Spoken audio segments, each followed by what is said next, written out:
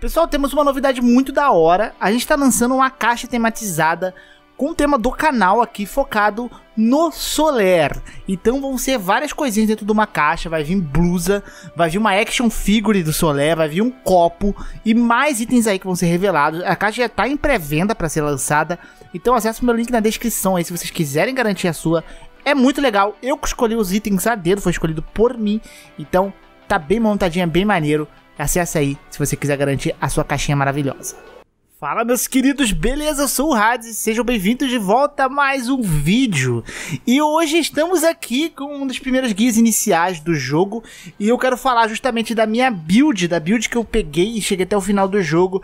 Uma build, principalmente a arma, que eu achei muito forte e assim, eu testei várias, testei várias builds tipo magia, de, testei de força bruta e nenhuma delas performou tão bem em questão de dano quanto essa. Então essa daqui, por enquanto, é a melhor build até agora, a melhor arma até agora que eu encontrei no jogo.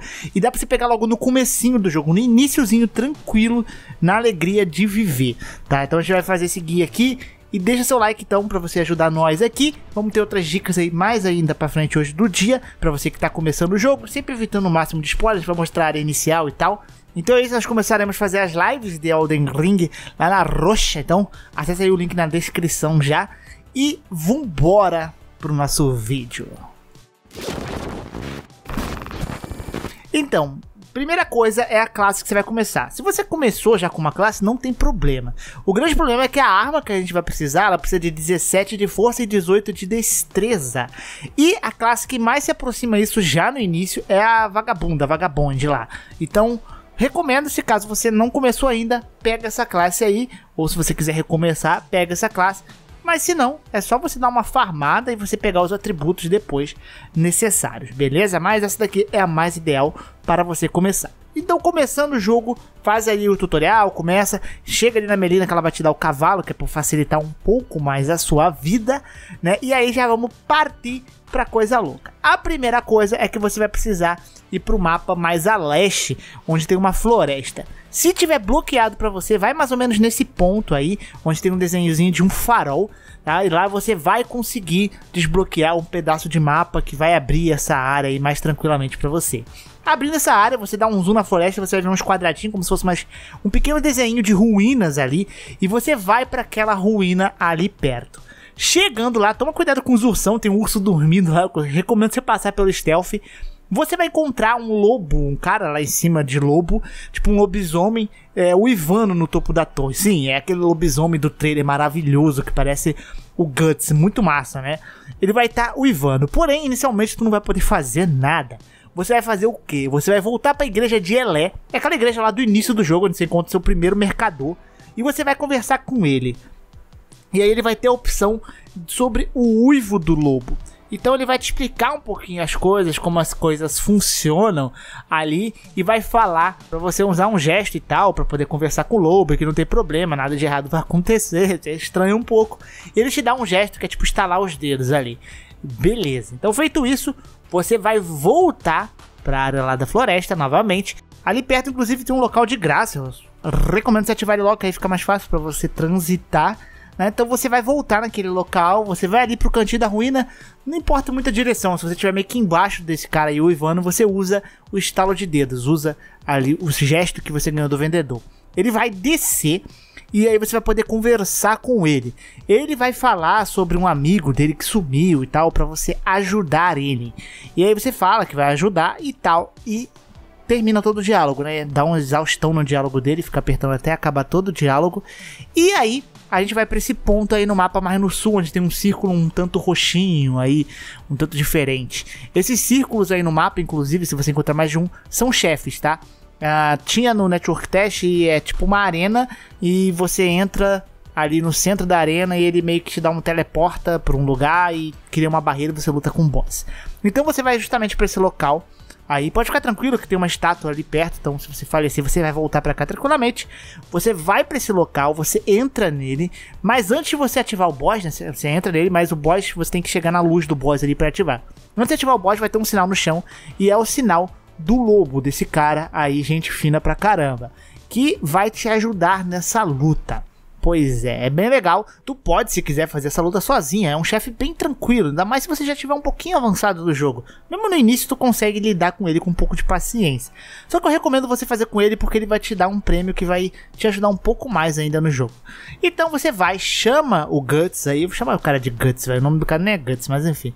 E aí vocês vão enfrentar junto esse boss aí que me lembra uma dançarina, né? O Guts dá bastante dano, distrai o boss, aí você pode atacar e tal. Eu tava com a classe de mago aqui, mas você provavelmente com a classe de vagabonde, você vai usar o escudo que tem bastante por cento, 100% de defesa física, né? E usa os ataques, vai distraindo.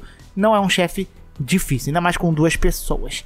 Ao derrotar esse chefe, você vai dropar a belíssima arma desse chefe, que é o nosso show, o show aqui desse vídeo, que é a presa do cão de caça. E essa arma que eu estou usando inclusive no final do jogo e está me suprindo muito bem. Ela no level máximo, ela vai ter uma escala de C com força e B de destreza. Então é quase uma quality build que você vai fazer nela, tá? Por que, que eu mandei você derrotar ela com esse cara? Ele vai te dar uma pedra nível 2 sombria. Então, você explorando um pouquinho, provavelmente você vai pegar a pedra nível 1 logo no mapa inicial.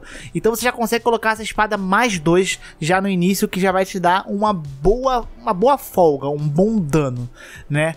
E essa daí é a arma. Você precisa de 18 de força, 17 de destreza para poder equipá-la. E ela é muito boa, tanto em uma mão quanto em duas mãos. Ela é um pouquinho lenta assim, mas ela não chega a ser a espada lentíssima do jogo. E ela tem um dano muito alto. E fora que ela naturalmente aplica sangramento. E eu vou te contar que muito, mas muito inimigo, chefe eles tomam um sangramento e esse sangramento dá muito dano e ele é muito útil em muitos casos, cara. Eu já fui salvo por um sangramento, estava uh, sem eixos nenhum e eu puff, troquei o sangramento e o, o cara foi de base. Então ajuda muito. Esse sangramento é outro outro charmezão dessa arminha aí, é muito bom tá? Para efeito de comparação, se você for ver aqui meus status, eu tô com 781 de dano. No Dark Souls esse dano aqui é absurdo. No Elden Ring ele é muito alto também. No Elden Ring os danos e os levels passam um pouco mais, né? Mas ainda assim é um level muito alto.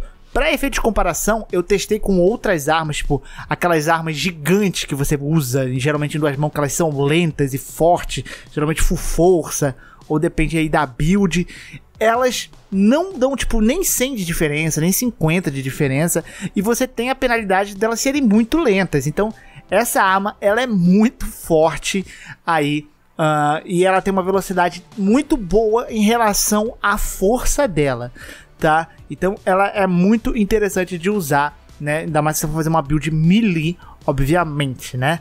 E quais são os status que você vai colocar nessa arma? Bem, eu recomendo você sempre ter um pouco mais de destreza do que força, porque ela escala melhor, né? Então, por exemplo, tenta chegar no 40 de destreza com uns 25 de força, 26 de força, mais ou menos. E aí você vai meio que distribuindo entre elas. Esses são os dois atributos primários. Atributos secundários você vai colocar em vitalidade e tenacidade, que eu gosto de usar umas armaduras mais pesadas e tal, e tenacidade me ajuda, e óbvio que você vai precisar de esquiva enquanto você ataca com esta arma. A minha build final, level 115, é essa daí. Tá, eu tô 47 de vitalidade, 21 de tenacidade, 38 e 51 de força e destreza, beleza? E eu tô aumentando um pouco de força agora porque a destreza já não tá escalando tanto, porque já tá um, um level alto de destreza.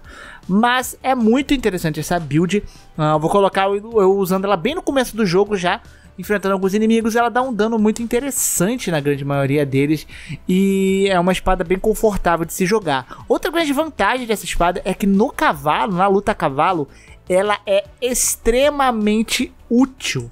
Ela é muito boa em luta a cavalo, por quê? Em luta a cavalo, você basicamente não fica combando, dando vários hits. Você geralmente bate, dá uma volta, bate, dá outra volta. E ela é perfeita para isso, porque ela não é uma arma de ficar tipo uma rapira atacando várias vezes. Então você vai e bate, você vai dar um dano muito bom, aí você pode sair da área. Você vai e bate novo, você vai dar outro dano bom, e por aí vai. Então, é uma arma bem interessante, muito boazinha de se jogar, e é a melhor que eu encontrei até agora. Testem a build aí, me digam o que vocês acharam também. Cheguei até o final do jogo com ela, e passei muito boss ali numa forma muito interessante e as outras que eu testei realmente não conseguiram performar tanto. A única que eu consegui performar com um dano semelhante foi uma build de magia. Depois a gente pode fazer um, um vídeo sobre isso. Só que, né, a build de magia você tem que se garantir muito mais na esquiva. Então acho que é um pouco mais difícil dependendo. Mas enfim, é isso. Espero que vocês tenham gostado desse vídeo. Grande beijo, grande abraço. Hoje ainda tem mais vídeos sobre Elden Ring. Essa maravilha a gente vai fazer muita coisa aqui pra vocês. Um beijo no popô e fui.